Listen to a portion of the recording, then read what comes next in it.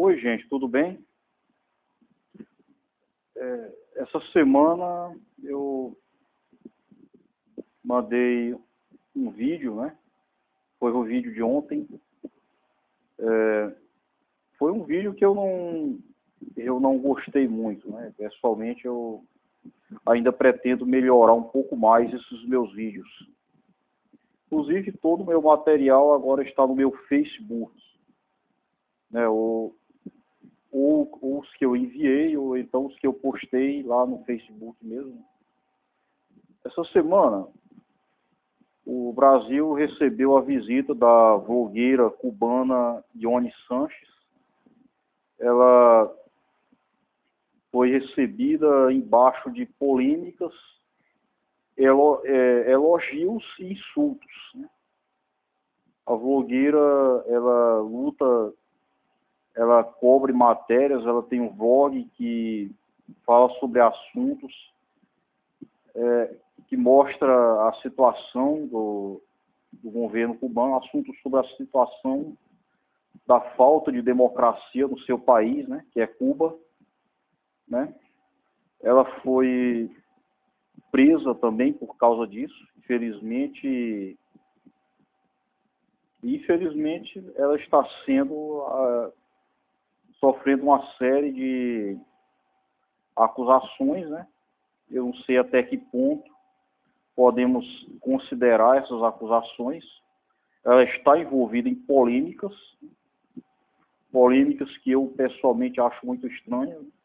De qualquer maneira, ela está ela está demonstrando sua opinião contra a ditadura, contra a falta de liberdade do seu país. Né?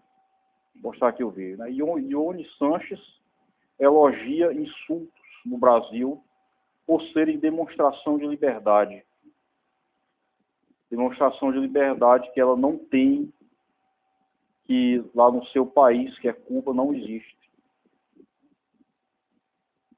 E, é, a dissidente cubana, Ione Sanches, autora do blog Geração Y, confessou nessa segunda-feira que gostou de ver algumas pessoas que protestavam, até com insultos. Uma blogueira de 37 anos diz é, que ela esteve tanto em Recife como em Salvador, ela foi recebida com insultos, com, dizendo que ela é uma agente uma espécie de espiã infiltrada, né? mas o, tudo que ela viu em meio a, tanto, a tanta conversa mole aqui foi que aqui nós temos liberdade para discordar dela. Vocês que fizeram essas manifestações aí, eu sinto dizer que se vocês morassem lá em Cuba, vocês não teriam tanta liberdade assim para fazer manifestação como vocês fazem aqui. É muita liberdade que vocês têm aqui. Felizmente, a gente tem a liberdade para discordar. Agora, lá em Cuba, a coisa é bem diferente. Ela deixa isso muito claro. E diz em outro link que eu deixei aqui debaixo, na barra de descrição, né? Exibição, é, ela veio para exibição de um documentário, né? Documentário chamado conexão conexão Cuba-Honduras, do cineasta Dudu, Galvão, que seria exibido em Feira de Santana. Né? A exibição do documentário não aconteceu, foi suspensa por causa de manifestações. Né? Olha só quanta liberdade nós temos para manifestar, de, de se manifestar. Conseguiram impedir a exibição de um documentário né, sobre a situação de Cuba, né, por, porque ela é uma blogueira polêmica, né, tem polêmica, é, dizem que tem polêmica por trás dela, só que tem muito mais polêmica do governo de Cuba. Né? As manifestações com que militantes de esquerda receberam nesta segunda-feira, em Feira de Santana, A cubana Ione Sanches, autora do blog Geração Y, pediram é, a exibição do documentário Conexão Cuba-Honduras, que formaram os organizadores do evento.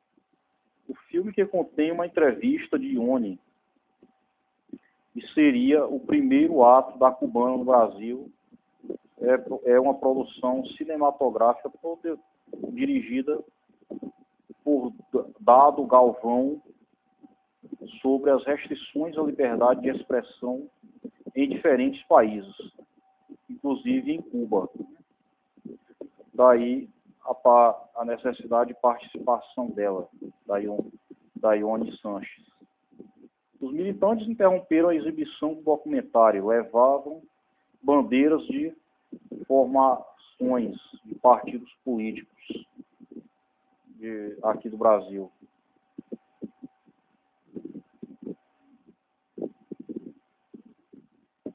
É, e o, teve um senador né, que, que tentou, né, é, tentou fazer com que eles exibissem, né, que, que pediu trégua aos manifestantes, mas não deu certo. A ativista chegou durante a madrugada ao aeroporto de Recife, onde faz escala antes de dirigir para Salvador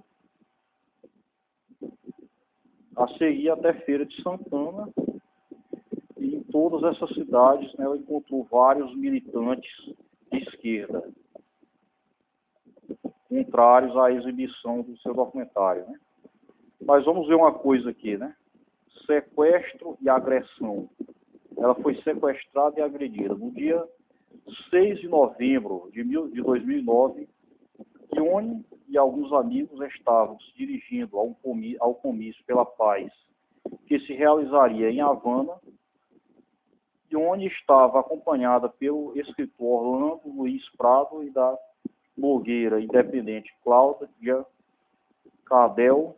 No caminho para a manifestação, os três foram interceptados por agentes supostamente da segurança do Estado em trajes civis que seguiram a um carro preto. Segundo a versão de onde os agentes lhe disseram para entrar no carro e que se recusaram porque e que se, eles e que se recusaram porque eles não apresentaram qualquer mandado judicial. Então, Ione e Orlando foram introduzidos no veículo à força, enquanto Cláudia foi levada por uma patrulha da polícia. Dentro do carro, Orlando foi imobilizado Ione, ao mesmo tempo que era espancada pelos agentes, ela recebia advertência de que tinha ido longe demais com seus escritos. Vinte minutos mais tarde, eles foram jogados em um local longe do local da manifestação. O incidente foi condenado por várias organizações internacionais de direitos humanos. Ione indicou principal atacante como, como alguém que se chama a si mesmo de agente Rodney. Em seu blog, ela divulgou fotos de supostos agentes da segurança do Estado que estavam vigiando sua casa. Os jornalistas oficiais cubanos negaram a veracidade do testemunho de Ione, chegando a sugerir que os ferimentos foram provocados devido a um ataque do seu próprio marido. Né? Bela maneira de se defender. Muito estranho isso aqui é, controvérsias, né, as controvérsias que mostram, inclusive aqui no, no Wikipedia, né, que eu vou deixar na barra de descrição.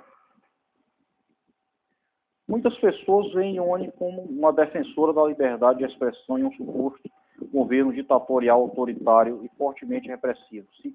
Simpatizantes da revolução, blogueiros cubanos aliados ao governo cubano alegaram a, e fomentam a criação de inúmeras suspeitas de ligação de Ione com supostos agentes estrangeiros infiltrados em Cuba e com a CIA e com o seu blog, que, que seu blog tem servido apenas para ataques contra o regime cubano. Toda a mídia oficial cubana existem inúmeras acusações contra Iane. Né? A mídia oficial contra ela. Né? Por que não? que é a mídia oficial, a mídia oficial do governo do governo daqui também não ataca, também não vai ser contra uma coisa que o governo daqui pensa. As principais acusações contra ela são de que ela seria uma mercenária paga pelo governo dos Estados Unidos e que seus artigos supostamente denigririam a Revolução Cubana e que ela estaria forte e que ela estaria fomentando uma subversão interna. Seus críticos a acusam de estar associada a grupos de extrema direita e que ela não estaria reconhecendo os avanços e as inúmeras conquistas da Revolução. Tá. E onde está a liberdade entre essas conquistas? Que que a, muito se fala que em Cuba não existe pobreza, não existe miséria, não existe não, não existe crianças desnutridas, né? Nas manifest... entre muitos manifestantes disse que são 140 milhões de crianças desnutridas no mundo, nenhuma em Cuba. Né? Agora, se você for em alguns países, tipo, se você for em alguns países lá do norte da Europa, Noruega, Suécia, Finlândia, né? lá também tem uma ótima situação, as pessoas vivem muito bem, tem um alto índice de desenvolvimento humano, de padrão de vida, mas nem, lá não foi necessário acabar com a democracia lá tem democracia. Nos países da Europa, de um modo geral, você encontra democracia, apesar de você não precisar acabar, apesar de serem países com alto índice de desenvolvimento humano, né? que vivem muito bem.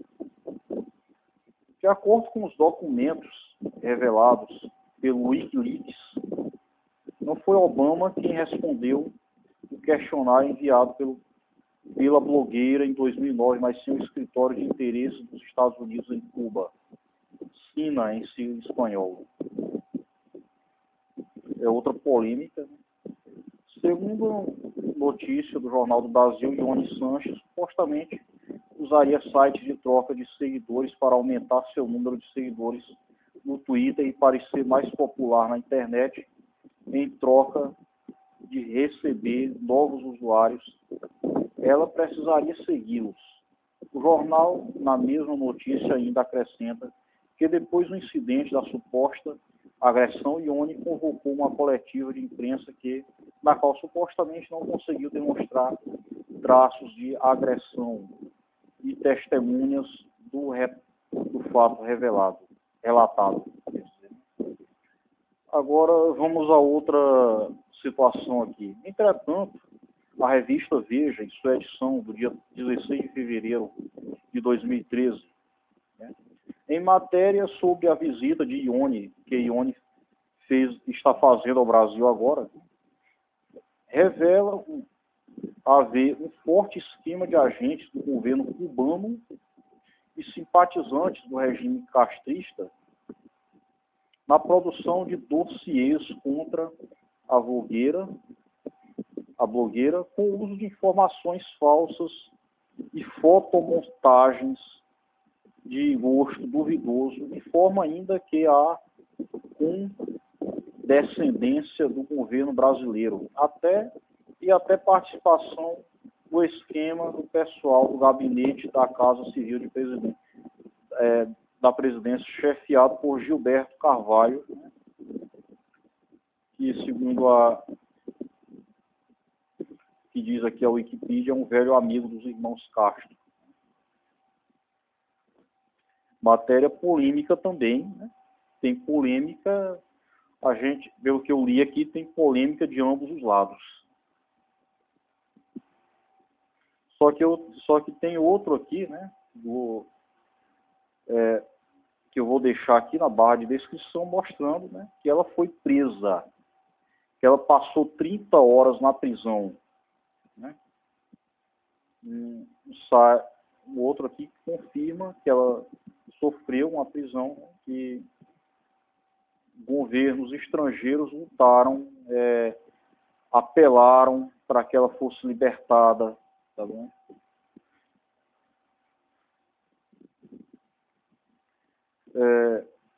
Pessoal, essa história de que a Ione Sanches é agente, é um agente da CIA infiltrada, querendo acabar, é, querendo criar problemas para o governo de Fidel Castro.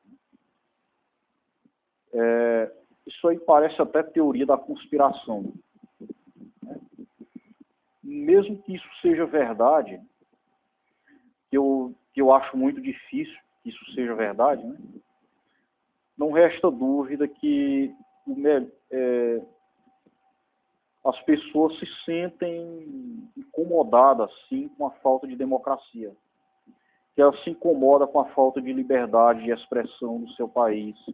Que ela se incomoda com essa situação calamitosa que é a ditadura. Em pleno século XXI, ainda existem governos autoritários que limitam, é, às vezes até o máximo, seu, seu direito. Né? É, são vários países aí que não, que não têm tanta liberdade como a gente tem aqui no Brasil. E é porque o Brasil não, não é o máximo ainda, né, nesse termo de liberdade, né? Mas pelo menos a, a gente tem aqui essa liberdade de expressão que a gente, que, eu, que a gente demonstra aqui, né? Eu, eu garanto que os senhores que estão protestando contra ela e falam que essa revolução trouxe muito, muitas conquistas para Cuba, né? eu sinceramente eu não queria viver na melhor democracia. Eu preferia, quer dizer, eu não queria viver na melhor ditadura, numa ótima ditadura. Eu preferia viver na pior democracia. Realmente eu nunca vivi na, na ditadura militar, né? Eu não está, eu nasci eu, eu nasci quando a ditadura já estava se acabando, né? mas com certeza eu não queria viver em meio à repressão. Realmente, melhor. Se o governo de Cuba é tão bom, então eles deveriam, então deveria ter, se realmente houve tantas conquistas sociais, é interessante que as pessoas tenham liberdade para apontar problemas, para apontar erros, para apontar situações, se necessário haver uma dinâmica, uma mudança nos poderes, né? o direito de votar, de ser votado, e não uma ditadura. E não essa situação, mesmo que haja polêmica, mesmo que ela seja essa mercenária que quer está sendo contratada, que ela seja um agente da CIA, não resta dúvida que, que é um absurdo um país em pleno século XXI ser uma ditadura. Eu prefiro a liberdade, pessoal. Né? Como eu vou deixar meu link na barra de descrição aqui dos links de todo, de todo esse material aqui. E até o próximo vídeo. Muito obrigado.